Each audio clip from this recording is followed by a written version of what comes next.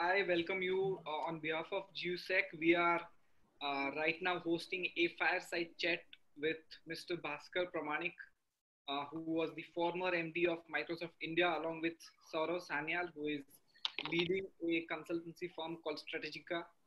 Uh, along with both of our dignitaries, I also welcome Rahul. Rahul is the CEO of GUSEC.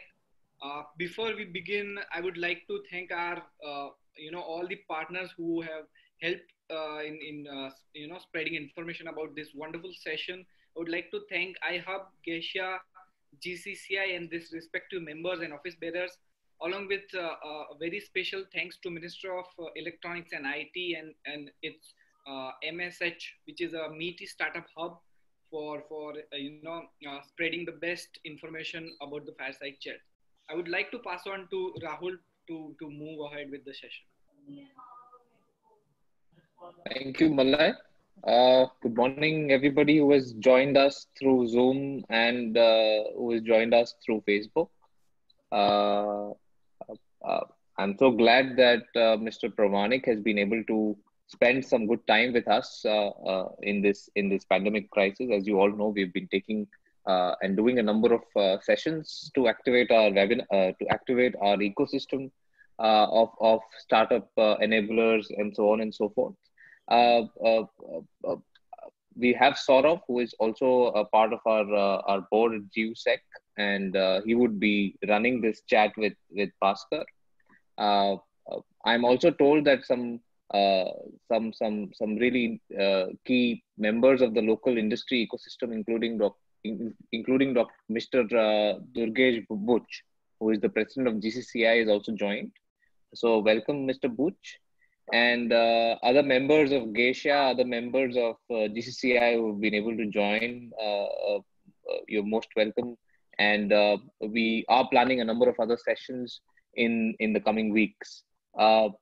moreover, as far as today's programs go, uh, attendees are free to ask questions uh, through the chat, uh, through the through the Q and A module of Zoom, and at the end of it, we'll pick up few questions to ask to the panel.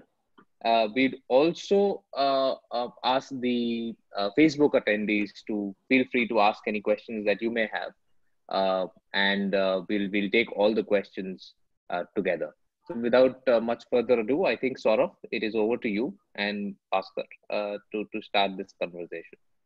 Uh, thanks, Rahul, and thank you to the GUSEC team for putting this together. Um, and we'd love to welcome the viewers to um, what we are looking to do at GUSEC, wherein we want uh, we are bringing in some of the top decision makers in the country to give insights uh, into both their business and their industry. So with that, I'd love to uh, welcome uh, Mr. Bhaskar Pramanik, who is a veteran of the Indian IT and technology industry and alumni of IIT Kanpur. He's held several positions and in a number of countries as the MD of Oracle and, and Sun Microsystems. Until recently, he was the chairman of uh, Microsoft India. He's currently on the board of a number of companies, such as the State Bank of India, as well as uh, the senior advisor to Rothschild. Uh, he's also advising a number of startups. So thank you, Bhaskar, for joining us at GUSEC uh, and giving us some insights uh, into how the industry uh, is looking. So to start off with, Bhaskar, I think, um, like I mentioned, you graduated from IIT Kanpur.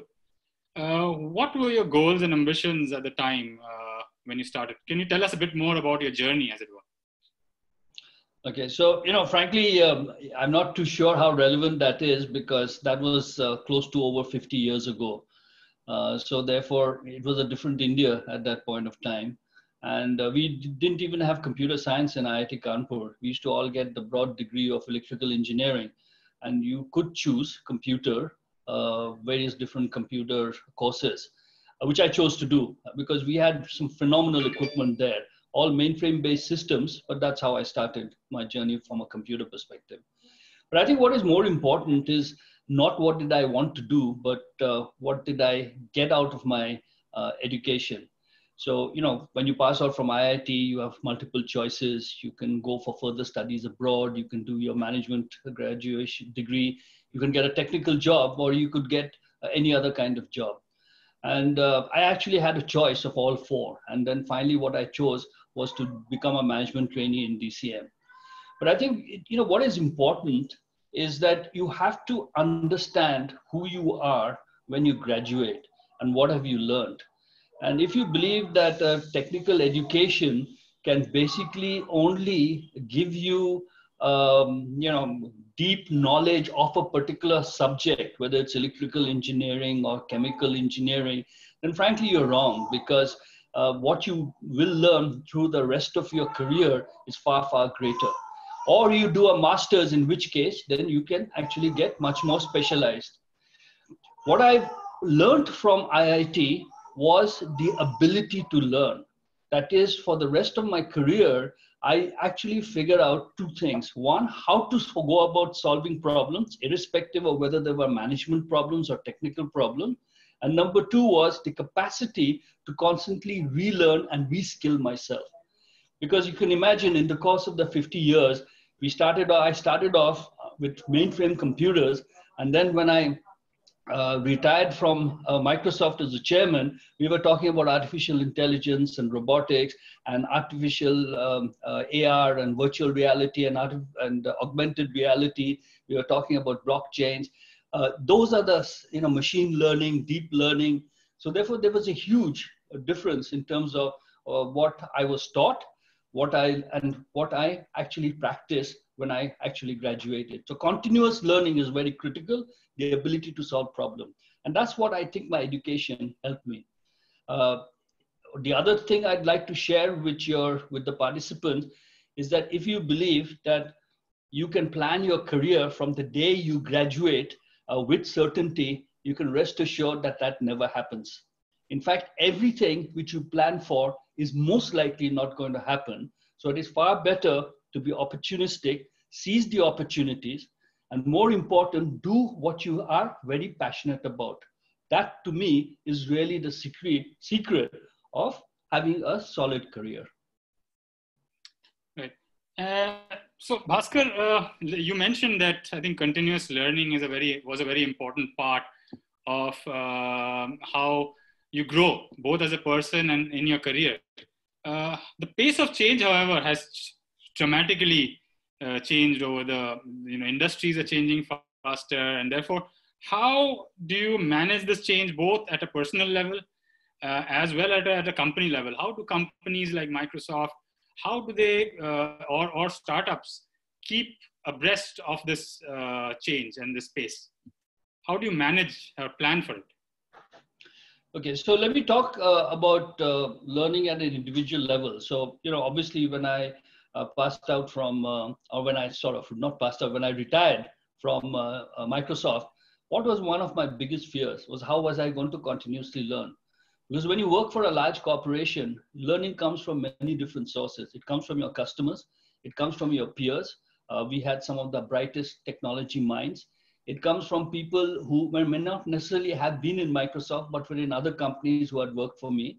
You get access to academia, you get access to startups, and therefore, there is a lot of in constant interaction, uh, industry associations, where you actually keep picking up new topics and get better understanding. You have online courses, and part of your you know overall job experience itself gives you the ability to learn.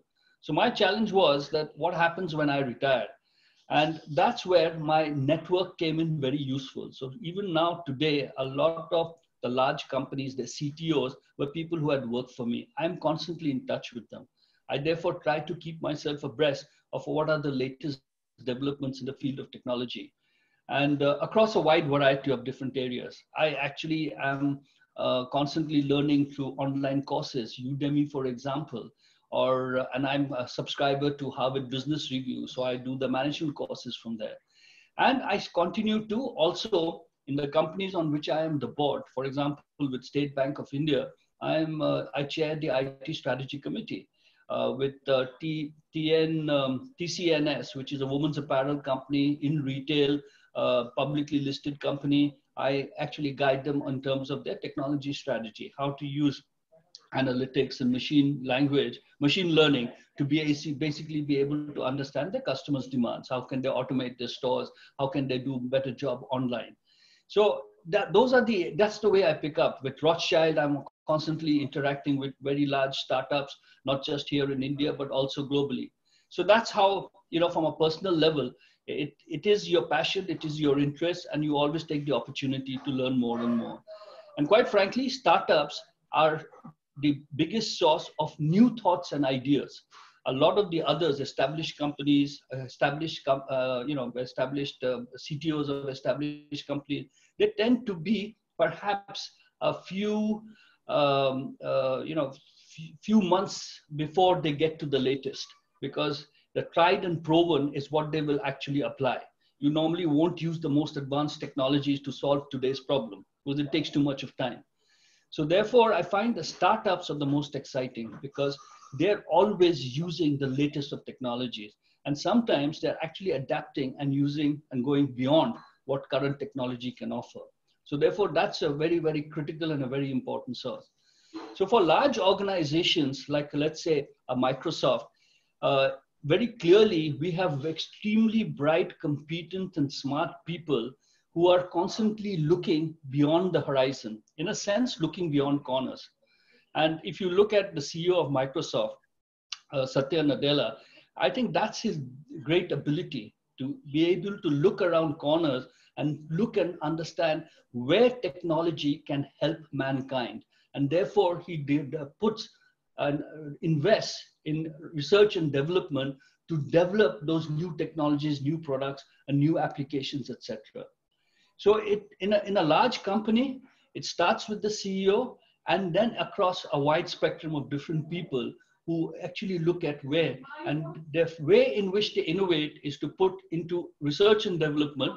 Uh, for example, a company like Microsoft or Google, they'll spend 10 to 12% of their uh, in uh, you know of their revenue into R&D, and this is to look for products which are three to five years in the horizon. Uh, in a smaller scale, let's take a let's take Microsoft in India. We focused. We had a large engineering facility out here, both the research and development as well as engineering. And uh, we actually found that one of the uh, applications which were lacking in uh, the uh, lacking in uh, in India was basically a chat for enterprise uh, something like a WhatsApp, but for the enterprise. And uh, our engineering team had actually put together a solution which we call Kaizala. Kaizala is based on the Marathi term WhatsApp. WhatsApp.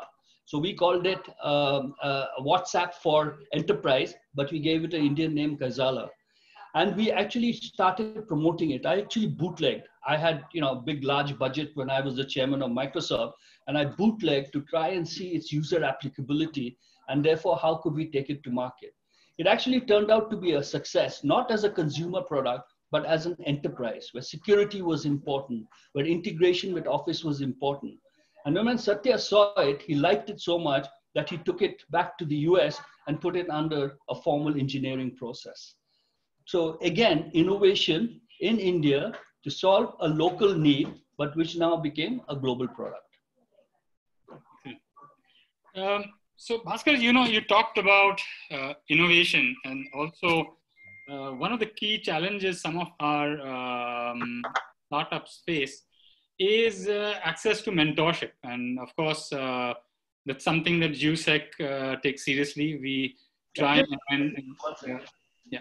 No.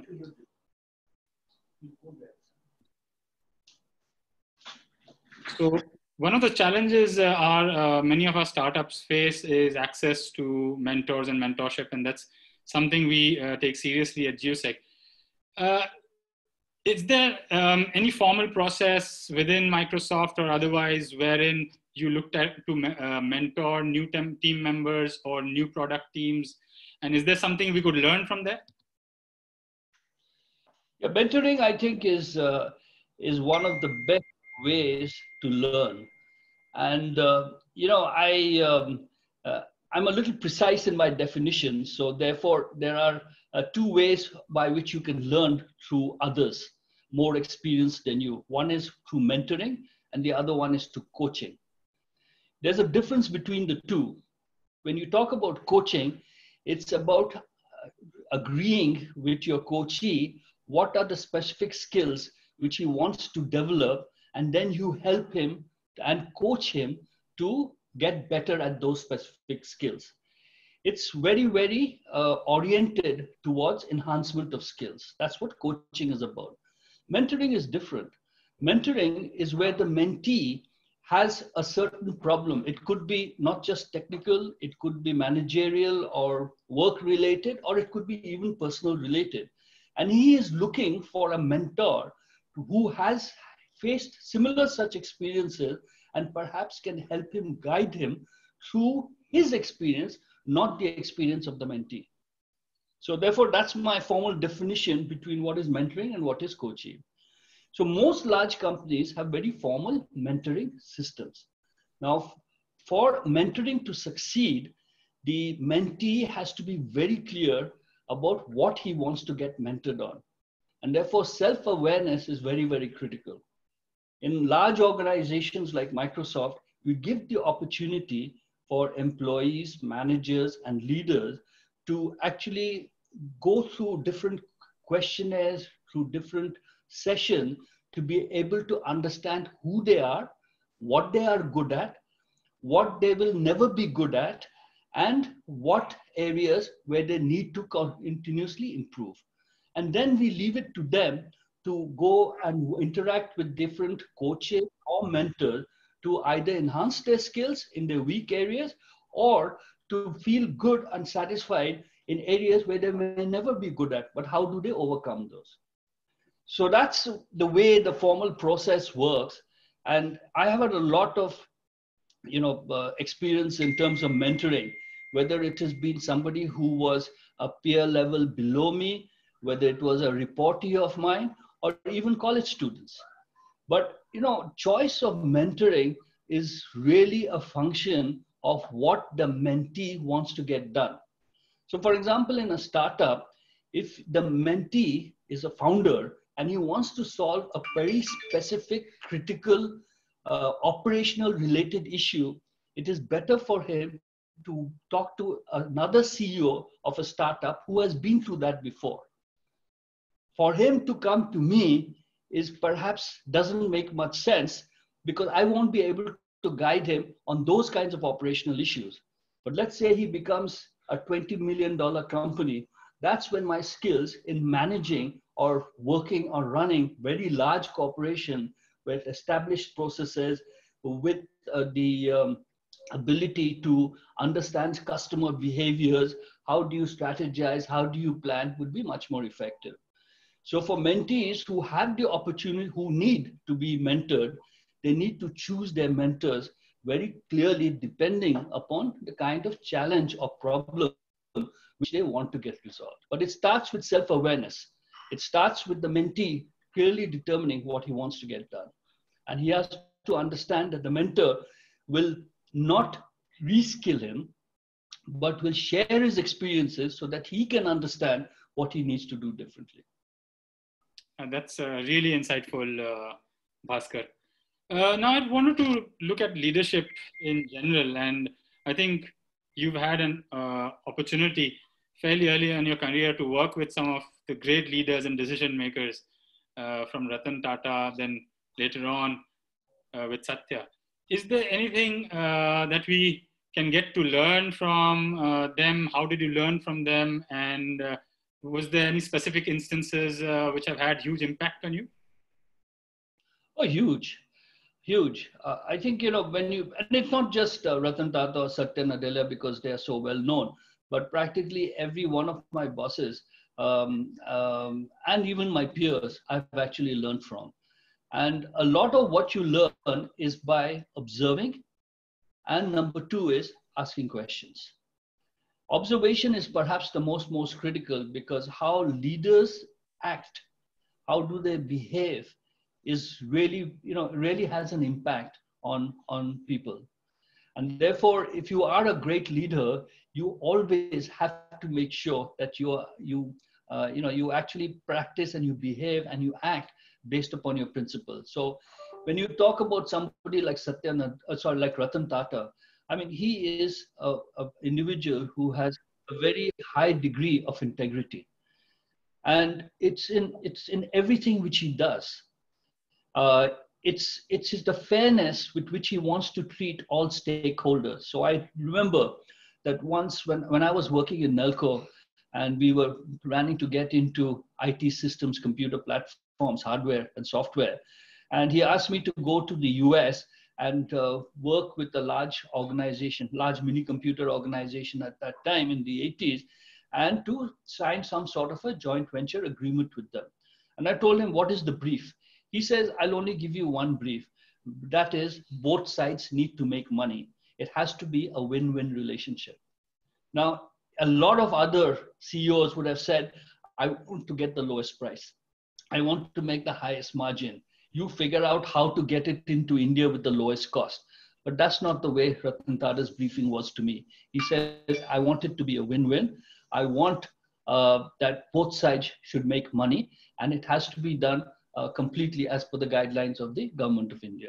So that's basically, you know, the co- concept of principle, you know, how you can become very, very, um, you know, principled by observing people's behaviors.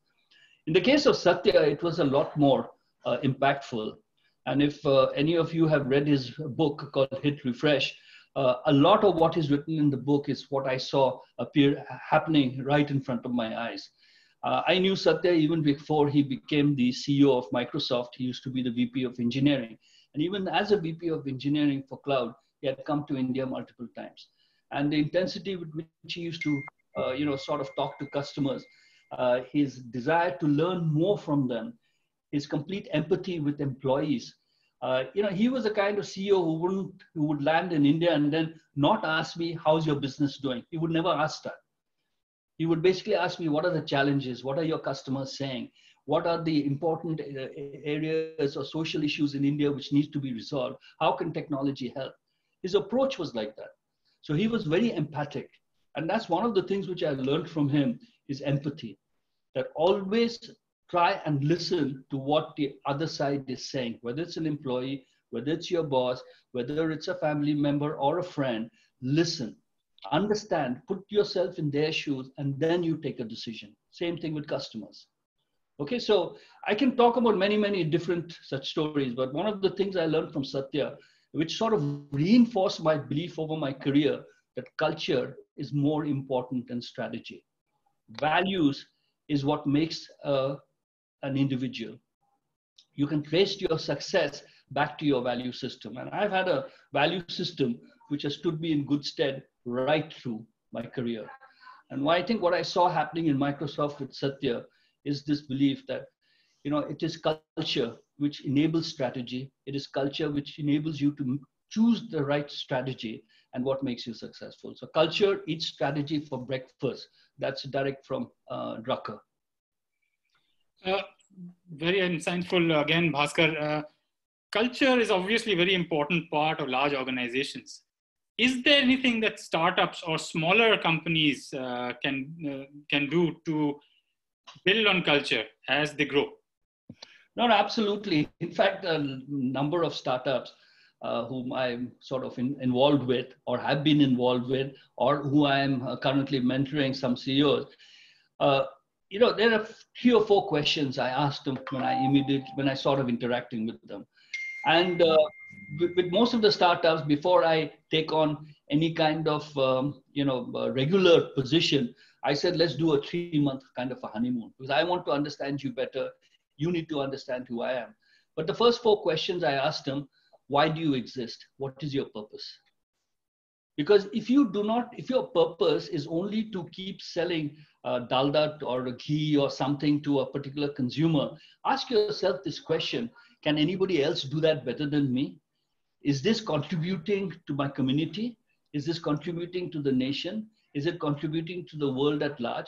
If your purpose does not have any of those, then perhaps you will not stand the test of time. If you look at the large corporations today, which have survived, which have existed, it's because they have a very clear cut vision and a mission and a purpose. And it's not about just making money, it's about how they can contribute. So, whether it's a Microsoft, which basically says that uh, we empower every individual and every organization on the planet to do more, that's what I would call a purpose which can stand the test of time. It used to be, Microsoft's purpose used to be a PC on everybody's desk. So once you got one and a half billion PCs in the world, which happened about 10 years ago, does that mean that your purpose as a company has lost? So when Satya did his new vision, he basically kept technology out of it because technology has the shelf life of a banana. If you build a company based only on a product, then it's very difficult to exist when that product and technology does not uh, is not the latest. So PCs were okay when Bill Gates, you know, sort of invented the company. But when the mobile phones took over from PCs, does that mean that Microsoft should have curled up and died? Or should it have just gone into mobile phones? So I think, you know, Satya looked at it from a different perspective. And therefore, if you look at Microsoft's vision today, it does not have any element of technology in it.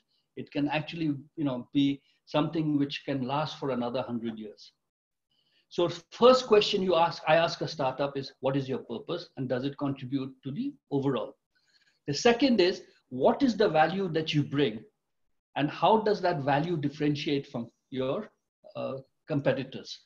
That's very, very critical because if you don't have something which is of value, if it doesn't solve a specific customer need, then you will find that you will not be able to stand the test of time. So ask yourself this question what is the value? How do you differentiate yourself? And the fourth question is who is your customer? And I think that's again something which most founders don't really are not able to clarify because they will say it's a consumer, it's a business, it's a chemical industry. Today, technology gives you the ability to offer a product or a service to a customer of one you have to be as specific as that. And then you have to see how many such customers exist. But if you say that, look, I will sell to everybody in the chemical industry or somebody who's got a process manufacturing plant, you need to be very clear about whether there are many other companies who can say exactly the same thing. What specific purpose of that do you? Is it uh, basically a pharmaceutical kind of a plant? Is it um, a plant which makes heavy, heavy chemicals, you have to be, is it a capacity plant which is of a certain size in a specific geography with a certain kind of output? You have to be very, very clear. It's the same thing when you talk about B2C. Who is your consumer? It can't be everybody. You have to be very specific. And one of the things which I found of, you know, I've been a judge of many startups. The startups which are clear about who the customer is, to whom they are offering their product or service, and are very clear about who that is are the ones which are likely to succeed.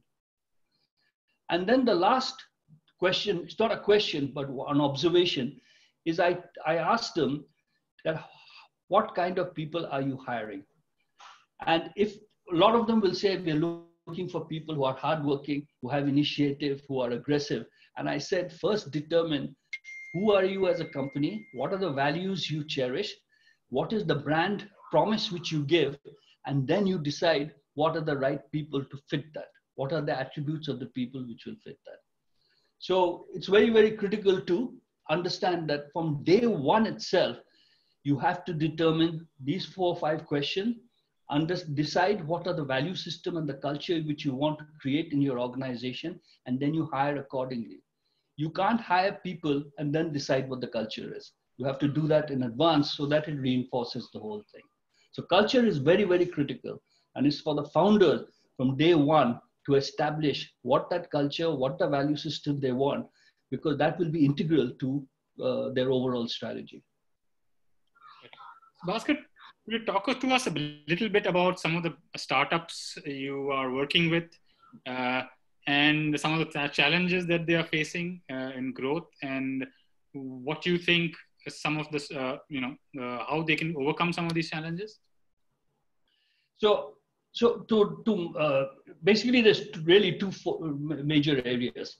Number one is focus, because most of them had made such broad um, plans uh, based on their understanding of what their product did that they were never really able to focus. So I think it's very important to focus, which is your customer, what segment, how am I going to reach him, what is going to be the distribution channel, uh, is it direct, is it through partners? All of that is very, very critical. So it's focus, focus across multiple dimensions. And the second is finance.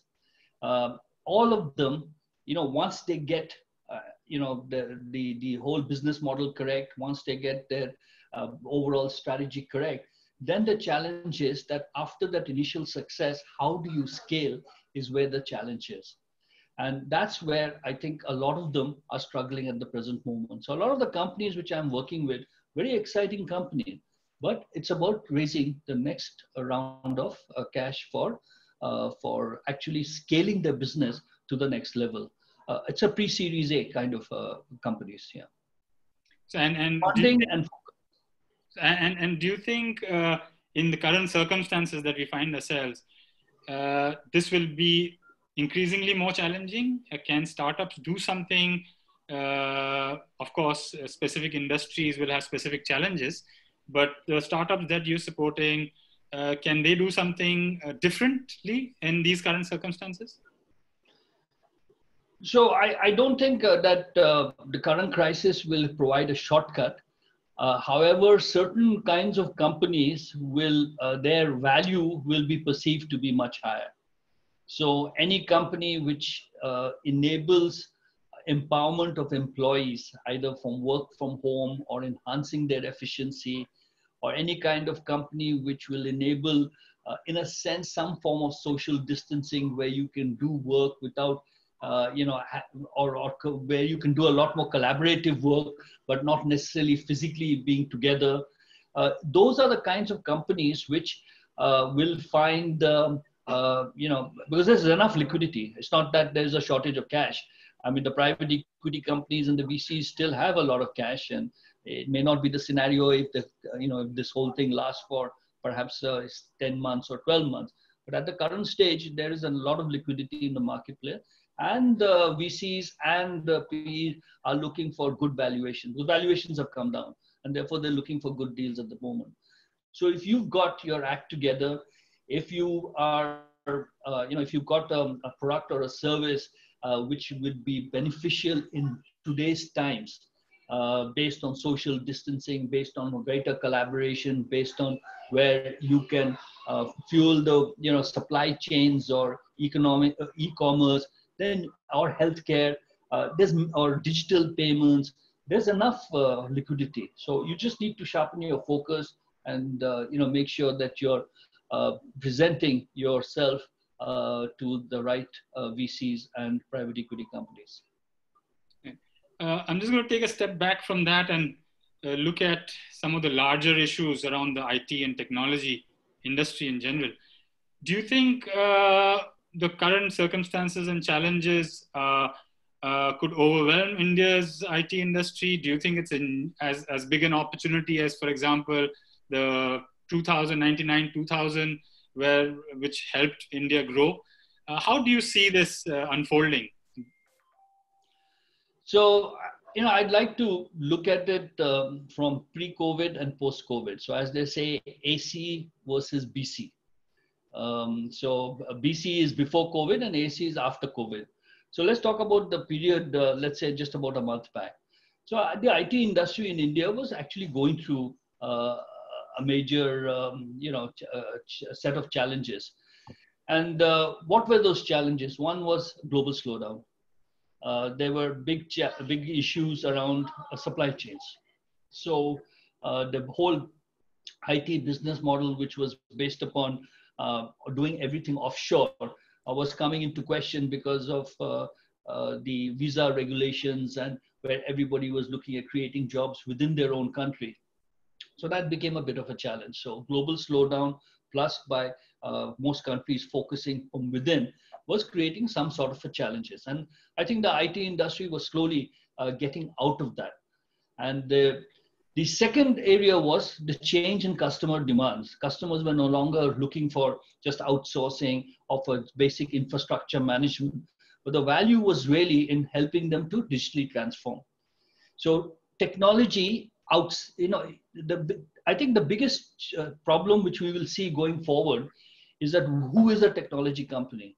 Is SBI a technology company? Is Flipkart a technology company? Is uh, Bharat Petroleum or Hindustan Petroleum or ONGC, are they technologies? Reliance a technology company? They're all technology company.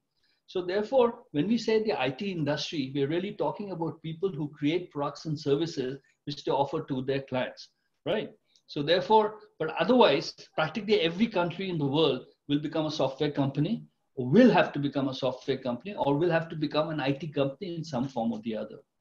So if you look at what industry requires outside of the technology industry, what they required was basically digital transformation. That's where the bigger benefits were.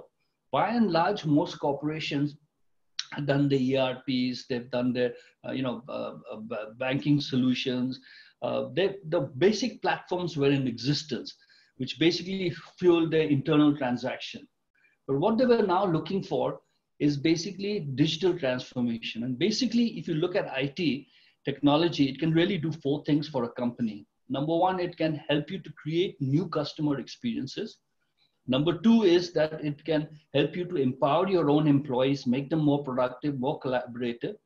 Number three is that it can help you to optimize your business, your ERPs using analytics or supply chains using analytics.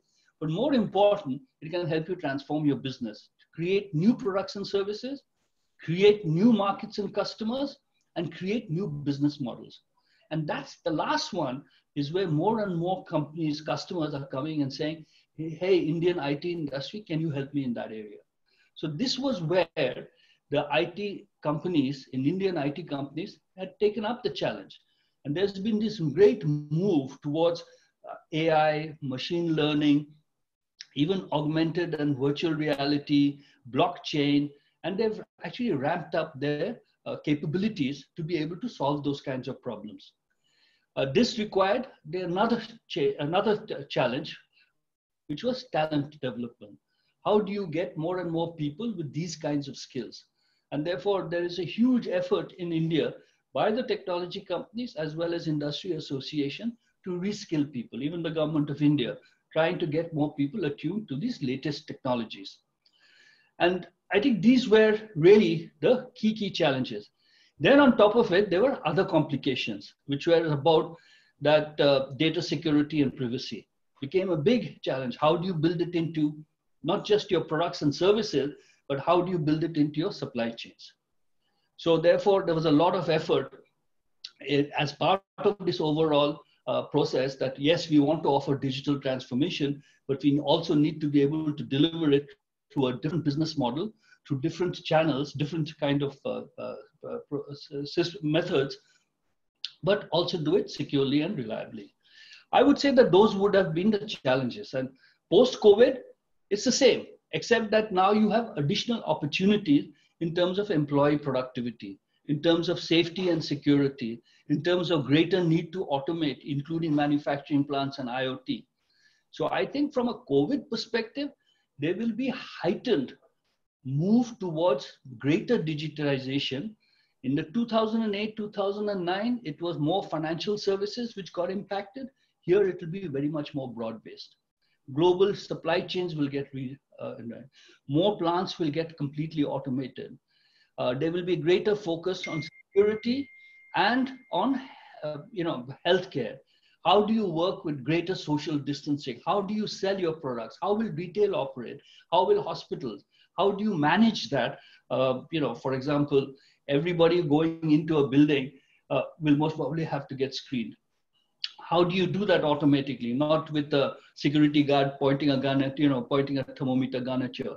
How do you ensure that the air conditioning is clean and therefore it uh, you know it traps the viruses so I think there's a huge opportunity for the IT industry and the technology industry in general. And that will, the COVID will bring about a lot of those opportunities and a lot of those changes. Uh, I'll start taking some of the questions that have uh, come uh, to me. Um, so, Sri Amit Parik from uh, the Gujarat Chamber of Commerce and Industry is asking how uh, academia and industry can work together more effectively. And to give you a background, uh, Bhaskar, uh, at uh, Gujarat University, we've just completed building uh, a, a, significant research and development park uh, where we are looking at collaborating with a number of local businesses in pharmaceuticals and healthcare, aviation. we're looking at a number of global collaborations. Uh, so, for example, uh, we've got uh, the DRDO setting up its lab at, um, at Gujarat University. We are getting a number of international collaborations in aviation there. how can, therefore, academia and industry collaborate more uh, closely and that's something you've worked on at microsoft as well and any ideas on how uh, at Gujarat University we can improve that uh, collaboration? So, I mean, I don't have um, anything which uh, perhaps hasn't been tried or is not uh, under process as of now. I don't think I have any any uh, sort of unique ideas. But again, I think it is all about being very very specific about the problem you're trying to solve. One. Number two is that it does require mentorship by the company, by the industry. So it's not just about giving money. It is about active participation in actually solving the problem and then taking it to market. That I think is the best experience. It's about cutting down, uh, and sometimes it may it need not be, you know, it could be applied, which means that it's something which you can take to market very quickly, or it could be solving a big technology problem, which is what research and development does, but which would then be used for products which are five years down the line the, they could be in you know schools of very advanced learning that could be more the focus which is about uh, you know creating a new technology solving a technology problem as distinct from applied where you're actually taking a customer related problem or a governance related problem or an environment related problem using technology to solve that and taking it to market and productionizing it and then taking it to market very quickly so I think it's really focused. You have to be very clear about what you want to do. Money is good to have. I think academia needs it because then they can pay the brightest minds instead of the brightest minds moving outside. But I think the focus is really about sharing the IP. That part of it is very, very critical. So I, I think, you know, industry understands that. And therefore you've seen industry uh, operating a lot more. But if they don't put skin in the game, if they don't have a process, industry has a process, and uh, the university has a process, then you will find that you cannot sustain it. It's basically then a function of two individuals in two organizations getting together. It lasts for a couple of years, and individuals change, and everything falls down. So you need to build this at a grassroots level over a long period of time. Indeed, I mean, we are in fact trying to put together processes where we can uh, both collaborate and, as you said earlier, uh, be a win-win for both uh, industry and academia. Yeah, uh, it, it, will definitely be because you know, if you frankly, if you look at uh, the US and even China now, uh, that collaboration is very, very, um, you know, key to the innovation of the industry. I think everybody understands that because, uh, you know, it's, a, it's about brain power and uh, students and, um, you know, PhD scholars and academia, they have that IP. It's just that identifying the problem to solve is what industry can help. And industry needs to participate so that they own that solution. Yeah. uh, we've got a question from somebody anonymously. Uh, sir you were smart enough to get into one of the iits uh, but what advice do you have for students who couldn't? And where does failure failure take you? How have you dealt with failure? You know if you haven't failed you will never know what success is. Because it's what failure drives you to understand where your weaknesses are and how do you then overcome them. So i can't think of a single individual who's had success right through his life and who's never tasted failure. I mean even a sachin tendulkar has never had a perfect innings. And even if he's had a perfect innings he could have he himself said look i think it could have been even better. So therefore you have to understand that life is all about mistakes. It's how you overcome them is that what takes you forward. And let me just give you, you know, you keep, everybody keeps talking about IITs. You know, when I passed out in 1972, nobody had heard of the IITs. Nobody in the West knew what an IIT was. nobody in India knew what an IIT was. And if you wanted to get married, they'd say an engineer. Who wants to marry an engineer? We want to marry an IPS, IAS, or a you know or a government servant. Those jobs are much more stable. So this thing about IITs only happened recently. So if you look at my generation of people who passed out from IIT, first of all, it was much simpler to get in. Number two is that uh, the ratios between students and uh, uh, teachers was much less. Uh, the, there were only five IITs.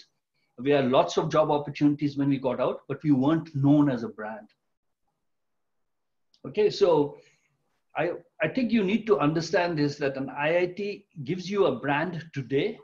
But like I said, what I got out of IIT was not the brand. I got the because people recognized me as somebody who was a problem solver and a person who could continuously learn. So I, I wasn't being I wasn't told to do a static problem. I could envisage the problem and think for a solution for it. And it didn't matter at what stage in my career I was.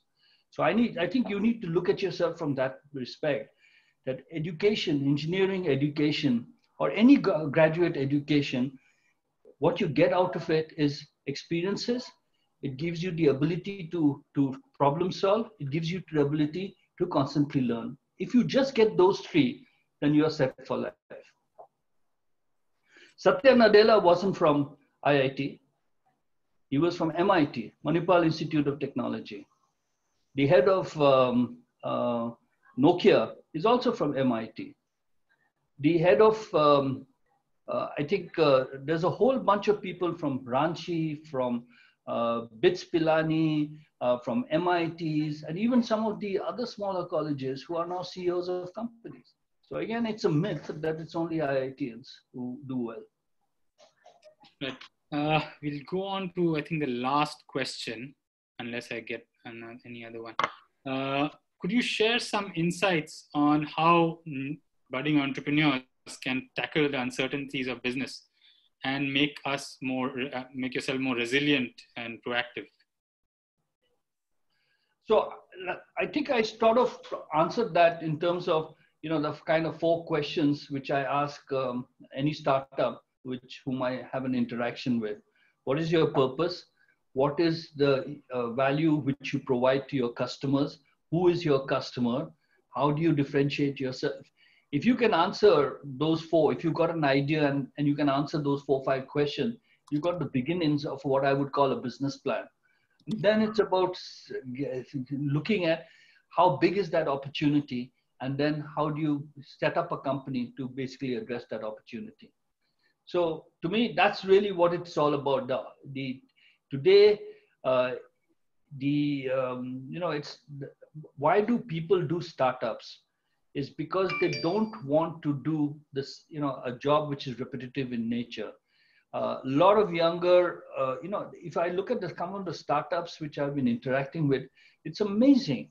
The uh, the the clarity of their thinking uh, the the market or the the uh, the the service or product which they're trying to create, the demand for that, uh, uh, it, the opportunities are huge.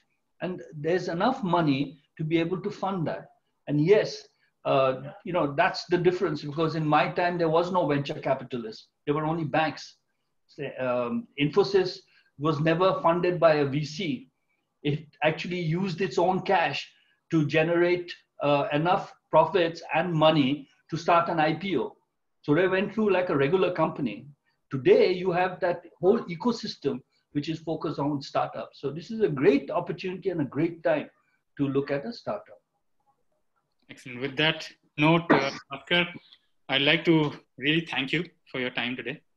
Uh, it was really insightful, and I hope uh, some of our viewers have uh, got uh, excited about the post-COVID world. If if one can do that. Um, so I'd like to hand it back to the GUSEC team and Rahul. Uh, yes, uh, thank you so much, Bhaskar. That was extremely insightful. I'm being told that uh, we're getting some amazing feedback on Facebook already. Uh, so thank you everyone who could join us through Zoom, Facebook, and a couple of other channels that we have posted this on. Thank you, Bhaskar, for the time and for such amazing insights. Uh, we'd love to have you sometime again in the near future uh, in some other form or fashion to talk to our startups. We have over 120 startups that we support at, at GUSEC. And like Saurav said, uh, we are we are building uh, one of the first research and innovation parks for any state university in the country. And uh, we are we are very close to initiating the operations around it. Uh, we'd love to have your inputs uh, there on how to bridge industry academia collaborations. Uh, thank you so much.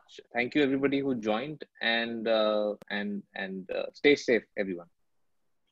Yeah, thank you everybody. Thank you for hosting me. Um, and um, thanks for the incisive questions that really made it more interesting. You, we had a prepared script, but I think we went off the script completely. So yes, thank you for yes. that. I think it made it uh, that much more interesting for me also. So yes, this is a great medium to share ideas, but unfortunately it's one way. Uh, I do look forward to an opportunity for greater interaction. Thank you. And everybody stay safe. Perfect. Thank you. Bye. Thank you. All right. Bye guys. Bye.